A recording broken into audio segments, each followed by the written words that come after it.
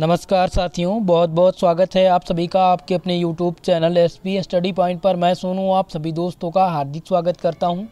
दोस्तों, आज की इस क्लास में हम डिस्कस करेंगे बीएससी थर्ड सेमेस्टर केमिस्ट्री दोस्तों, इसके पहले थर्ड सेमेस्टर का सिलेबस मैंने डिस्कस कर दिया था कि थर्ड सेमेस्टर में केमिस्ट्री में आपको क्या पढ़ना है और इंट्रोडक्शन क्लास भी हो गई थी, यानी कि जिसमें मैंने बता दिया था कि आपको फ़र्स्ट यूनिट के अंतराल क्या पढ़ना है। तो आज हम क्लास स्टार्ट कर रहे हैं। ये आज केमिस्ट्री की सेकेंड क्लास होगी, दूसरी क्लास होगी दोस्तों। तो थर्ड सेमेस्टर में जो आपकी केमिस्ट्री है, उसका नाम है chemical dynamics and coordination chemistry तो दोस्तों, चलिए क्लास को स्टार्ट करते हैं। ज़ोरदार तरीके से सभी लोग क्लास को शेयर कर दीजिए। जो भी हमारे चैनल पर नए आए हैं, वो भाई बंधु प्लीज़ चैनल को ज़रूर सब्सक्राइब कर लीजिएगा। दोस्तों, ये क्लास आपको नई शिक्षा नीति के तहत संचालित की जा रही है, यानी कि एनईपी जो लागू हुआ है, उसी के तहत नेशनल एजुकेशन पॉलिसी इसके तहत सभी यूनिवर्सिटी का पाठ्यक्रम सेम है, आप चाहे जिस यूनिवर्सिटी से हों, आप में यही सिलेबस है और इसी प्रकार से एग्ज़ाम में प्रश्न आप में पूछे जाएँगे। चलिए दोस्तों, अब आपको क्लास का टाइमिंग बता दे रहा हूँ।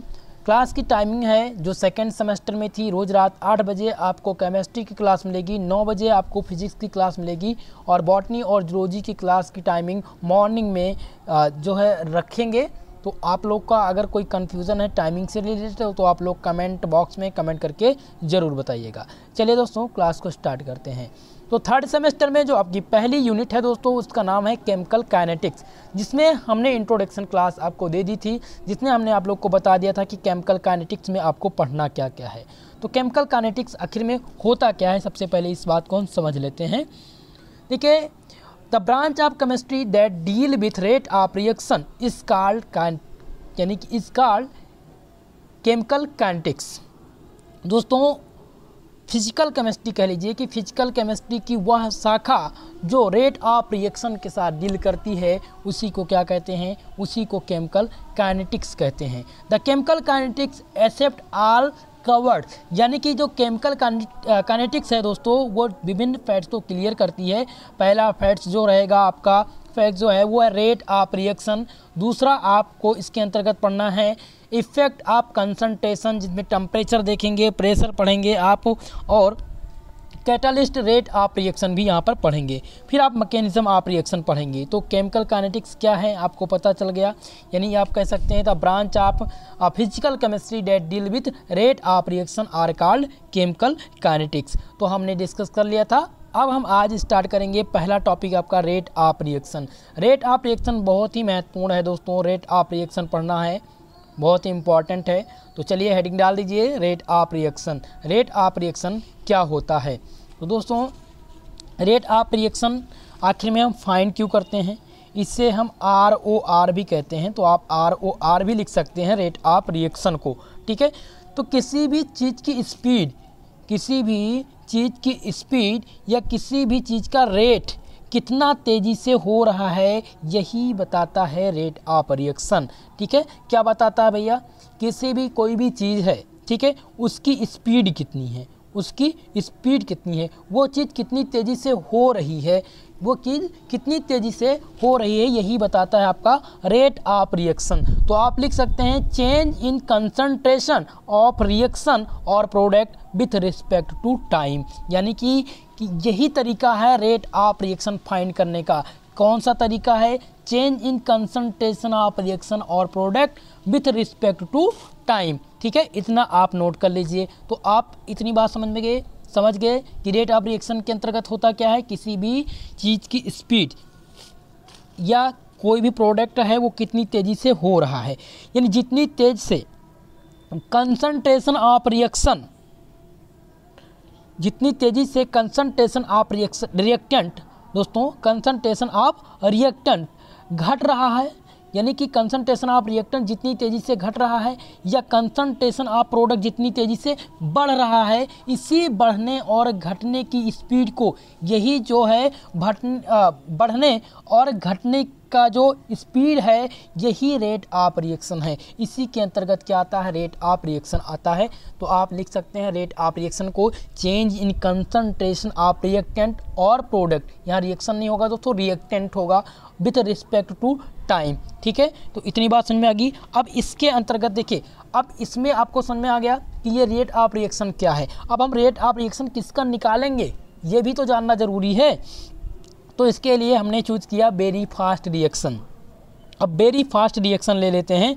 जैसे कि आयनिक रिएक्शन जो होते हैं, वो वेरी फास्ट रिएक्शन ले होते हैं, ठीक है? अब हम एग्जांपल ले लेते हैं। एक एग्जांपल हमने ले लिया। कौन सा ले लिया भैया? यहाँ पर हमने ले लिया N A C L plus N A C L plus A G N O three A G N O three ठीक है? तो अब इसमें क्या हो रहा है कि इस रिएक्शन में अगर हम इसको बैलेंस करें तो हम इसे लिख सकते हैं ना N A N O three और ए जी सी एल लिख सकते हैं ना? अब इसमें देखिए, इसमें नैनो सेकंड का टाइम लग रहा है। बहुत ही कम समय में, यानी कि वेरी फास्ट बहुत तेज़ से आयनिक रिएक्शन जो होते हैं, वो बहुत तेज़ी से हो जाते हैं। तो ऐसे रिएक्शन का हम रेट आप रिएक्शन नहीं ज्ञात कर सकते। किसका? यानी कि वेरी फास्ट जो रिएक्शन होंगे, जैसे आयनिक रिएक्शन जो हो जाएगा। आयनिक रिएक्शन मैंने एग्जांपल दे दिया, एक बार फिर से मैं दे देता हूँ, कुछ लोग को अभी भी कन्फ्यूज़न है। N A C L plus A G N O three अब इसको जैसे ही बैलेंस करेंगे तो आप यहाँ पर लिख सकते हैं N A N O three plus A G C L ठीक है? तो इसमें जो टाइमिंग लगा है, वो बहुत ही कम समय में हो जा रहा है ये रिएक्शन ठीक है? तो जब नैनो सेकंड में कोई भी कंपाउंड या कोई भी रिएक्शन हो रहा है तो इसका हम रेट ऑफ़ रिएक्शन नहीं ज्ञात कर सकते।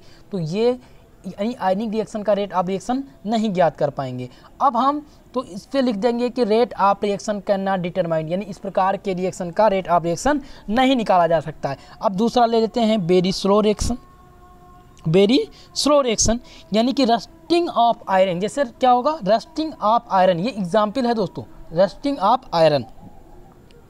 यानी कि ऐसा रिएक्शन ऐसा रिएक्शन हो जिसे होने में भाई एक साल भी लग जाए, एक मंथ लग जाए, ठीक है? जैसे आप कोई भी चीज़ ले लिए, ठीक है? अब आपको देना है, अब उसको आप रखे हैं, सोच रहे हैं, नहीं देंगे कि नहीं देंगे। अच्छा ठीक है, एक हमने फूल ले लिया, ठीक है? अब कुछ लोग हैं, सोच रहे हैं, उसको दिया जाए, कैसे दिया जाए? तो कुछ उसमें क्या हो रहा है? टाइमिंग लग रहा है। बहुत ही लंबे समय तक आप खींच के ले जा रहे हैं उसको, ठीक है? तो जो ये प्रक्रिया हो रही है, लंबी जो प्रक्रिया हो रही है ये बेरी स्लो रिएक्शन के अंतर्गत आता है। तो बेरी स्लो रिएक्शन का भी रेट आप रिएक्शन नहीं फाइंड करेंगे। जैसे रेट ऑफ़ रिएक्शन किसका निकालते हैं? किसी भी फैक्ट्री में किसी प्रोडक्ट का ही तो रेट ऑफ़ रिएक्शन निकलता है। तो आप कोई भी प्रोडक्ट का रेट ऑफ़ रिएक्शन निकालना है तो आप उसे एक साल के लिए थोड़ी डाल देंगे। यानी कि इस प्रकार का reaction rusting of iron take year month में जो कंप्लीट हो, उसका भी रेट ऑफ़ रिएक्शन नहीं निकल सकता। तो ये दोनों कैंसिल हो गए। वेरी स्लो और वेरी फास्ट अब जो आपका है दूसरा रिएक्शन यानी थर्ड रिएक्शन जो है दोस्तों, वो है moderate rate of reaction moderate rate of reaction जैसे कि मॉलिकुलर रिएक्शन क्या हो जाएगा? मॉलिकुलर रिएक्शन चलिए इसको हम डिस्कस करते हैं। इसी पर आपका पूरा चैप्टर बेस है। अब मॉडरेट रिएक्शन ऐसे रिएक्शन होते हैं दोस्तों, जिनकी स्पीड ना तो बहुत तेज होती है और ना ही बहुत धीरे होती है। तो ऐसे रिएक्शन का हम रेट ऑफ़ रिएक्शन यानी आर ओ आर फाइंड करते हैं। पूरा आपका चैप्टर इसी पर बेस है, यानी कि moderate rate of reaction moderate rate of reaction के अंतर्गत कौन से आते हैं? मॉलिकुलर रिएक्शन मॉलिकुलर रिएक्शन का एग्ज़ाम्पल जैसे ले लेते हैं N two three H two तो ये जो हो जाएगा, ये हो जाएगा टू एन एच थ्री ये क्या है भैया? ये है मॉलिकुलर रिएक्शन ठीक है तो इसमें क्या हो रहा है कि ये जो विक्रिया है, इसमें केवल कुछ वक्त लग रहे हैं। ना तो ये बहुत, ये तो है नहीं कि एक साल बाद हो रही है, एक महीने में लग रही यानी कि अब लगभग लगभग 10 मिनट या 5 मिनट के समय के अंतराल में अगर कोई रिएक्शन हो रहा है तो वो मॉडरेट रिएक्शन कहलाता है। क्या है? मॉडरेट रिएक्शन तो मॉडरेट रिएक्शन होता क्या है? ऐसा रिएक्शन जिनकी स्पीड जो होगी, वो ना तो बहुत तेज होगी और ना ही बहुत धीरे होगी। इसी का हम निकालते हैं रेट ऑफ़ रिएक्शन इसी पर आपका पूरा चैप्टर बेस है।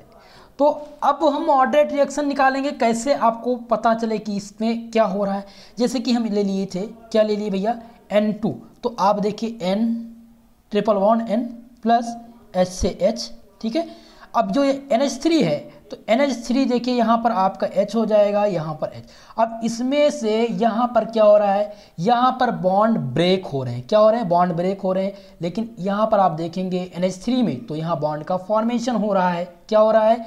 बॉन्ड का फॉर्मेशन हो रहा है। तो जब बॉन्ड का फॉर्मेशन होगा तो इसमें जो समय लगेगा, यानी फाइनाइट टाइम लगेगा। दोनों के बीच में होने में जो समय लग रहे हैं, इन दोनों के बीच में इसमें फाइनाइट समय लग रहे हैं, ठीक है? तो यही रेट ऑफ़ रिएक्शन है। अब रेट ऑफ़ रिएक्शन को हम डिफाइन किस प्रकार से करेंगे? तो rate of reaction may be defined as the change in concentration of any one of reactant reactant और प्रोडक्ट यहाँ पर रिएक्टेंट होगा दोस्तों। रिएक्टेंट और product per unit time are called rate of reaction समझ गए? इतनी बात? चलिए। अब एग्ज़ाम्पल ले लेते हैं। जैसा कि हमने एग्ज़ाम्पल ले लिया, कौन सा एग्ज़ाम्पल ले लिया? P C L five P C L five तो P C L three plus P C L two अब इसको हम रेट ऑफ़ रिएक्शन में किस प्रकार से लिखेंगे? आर ओ आर में। तो इसमें आपको पता है दोस्तों कि रेट ऑफ़ रिएक्शन को किस प्रकार से लिखते हैं। सबसे पहले तो ये जान लीजिए, कैसे लिखते हैं? चलिए जल्दी से बता दीजिए, जिनको भी पता है। तो आप लिख सकते हैं कि decreasing in concentration of P C L five ठीक है? Decreasing in concentration of P C L five upon time taken और यहाँ पर क्या हो जाएगा? इंक्रीजिंग यानी इंक्रीज हो रहा है ना प्रोडक्ट देखिए प्रोडक्ट क्या हो रहा है? कंसंट्रेशन आप जो रिएक्टेंट होगा रिएक्टेंट आप प्रोडक्ट क्या होगा? रिएक्टेंट क्या करेगा? इसमें घटेगा। लेकिन वहीं पर अगर प्रोडक्ट की बात करेंगे तो प्रोडक्ट क्या करेगा? प्रोडक्ट बढ़ेगा। किसके साथ? टाइम टेकन यानी कि एक कुछ second with respect to time ही तो रहेगा, ठीक है? तो ये हो जाएगा इसका रिएक्शन अब किस प्रकार से लिखते हैं? हमें देखते हैं। रेट ऑफ़ रिएक्शन को हम लिख सकते हैं किस प्रकार से? जैसे कि मैंने आपको रेट ऑफ़ रिएक्शन निकाला था। किसका निकालना था? हमने दे दिया पी सी एल फाइव यहाँ पर हो जाएगा P C L three plus C L two अब यहाँ पर हमें रेट ऑफ़ रिएक्शन लिखना है तो आप लिखेंगे del P C L five upon del T equal to plus यहाँ पर प्रोडक्ट जब भी रिएक्टेंट की बात करें तो रिएक्टेंट की जो वैल्यू होगी वो माइनस में होगी, क्योंकि रिएक्टेंट तो घटेगा ना और इंक्रीज क्या करेगा प्रोडक्ट तो जब प्रोडक्ट इंक्रीज करेगा तो प्लस में ही तो आएगा माइनस तो आएगा नहीं। तो ये हो गया आपका रिएक्टेंट और ये हो गया आपका प्रोडक्ट प्रोडक्ट में आपने क्या लिखा? पी लिखा और आपका पूरा रिएक्टेंट क्या था? पी था। तो यहाँ पर क्या हो रहा है कि रेट आप, अब देख रहे हैं ना, इसमें क्या, अभी मैंने आप लोग को क्या बताया था कि rate of reaction may be defined as change in concentration in any one of the reactant. ठीक है? तो रेट ऑफ़ रिएक्टेंट यहाँ पर क्या हो रहा भैया? घट रहा है। और रेट ऑफ़ प्रोडक्ट क्या हो रहा है? बढ़ रहा है। यही तो है। अब बढ़ कैसे रहा है कि जब मैंने आपको यहाँ पर बताया कि पी सी फाइव ये आपका हो गया ठीक है? अब इसको हमने क्या किया कि इसका रेट आप रिएक्शन निकाला तो यहाँ पर हो जाएगा P C L three plus C L two तो पी सी एल थ्री यहाँ पर रेट ऑफ़ रिएक्शन बढ़ रहा है तो ये हो जाएगा पॉजिटिव में आ जाएगा। तो इस प्रकार से रेट आप रिएक्शन लिखते हैं। आगे देख लेते हैं। अब आगे किस प्रकार से लिखेंगे? लिखेंगे क्या? Decreases in concentration of P C L five time taken और फिर लिखेंगे increasing in the concentration of reaction of P C L three time taken यही लिखने का इसका तरीका है। अब हम यूनिट की बात कर लेते हैं। रेट ऑफ़ रिएक्शन की यूनिट क्या होती है? Unit of R O R N rate of reaction तो रेट ऑफ़ रिएक्शन को किस प्रकार से हम फाइंड करते हैं? जल्दी से बताइए भैया। सभी लोग, इसकी यूनिट क्या होगी? जल्दी से बता दीजिए। जिनको भी पता है, वो सभी लोग कमेंट के माध्यम से बताइए। तो यहाँ पर हो जाएगा कंसंट्रेशन अपॉन टाइम ठीक है? तो कंसंट्रेशन को हम किससे डिफाइन करते हैं भैया? कंसंट्रेशन को किससे लिखते हैं? यहाँ पर कंसंट्रेशन की अगर बात हो तो यहाँ पर किसमें होते हैं? मोल में होता है। तो क्या हो जाएगा? मोल प्रति लीटर हो जाएगा। ठीक है? तो ये आपका निकल के आएगा। अगर आप सॉल्व करेंगे तो ये आ जाएगा mole litre. Mole litre inverse second inverse ये हो जाएगा यूनिट तो कंस अगर बात करा जाए आर ओ आर की यूनिट तो आर ओ आर की यूनिट जो होती है वो होती है mole litre inverse second inverse, यही है यूनिट इसकी, ठीक है? तो इतनी बात समझ में आ गई? चलिए, आगे बढ़ते हैं। अब हम डिस्कस करते हैं expression of the rate of reaction rate of reaction का एक्सप्रेशन किस प्रकार से हम फाइंड करेंगे? यानी लिखने का तरीका, किस प्रकार से हम किसी भी आर ओ आर को लिखेंगे, उसमें किस प्रकार से कंसंट्रेशन ऑफ़ रिएक्शन घटेगा या प्रोडक्ट रेट ऑफ़ प्रोडक्ट जो होगा कंसंट्रेशन ऑफ़ प्रोडक्ट किस प्रकार से बढ़ेगा? उसको हम किस प्रकार से रिएक्शन के मोड में लिखेंगे? तो हेडिंग डाल दीजिए expression of the rate of reaction लिखेंगे the rate of reaction is charging continuously through the course of the reaction therefore the rate of reaction at any particular constant time T ठीक है? तो constant instant time है, वो क्या हो जाएगा? Dt हो जाएगा। सपोज़ करिए dx is the small dx is the small change in concentration any one of the reactant और product during a small interval time dt ठीक है?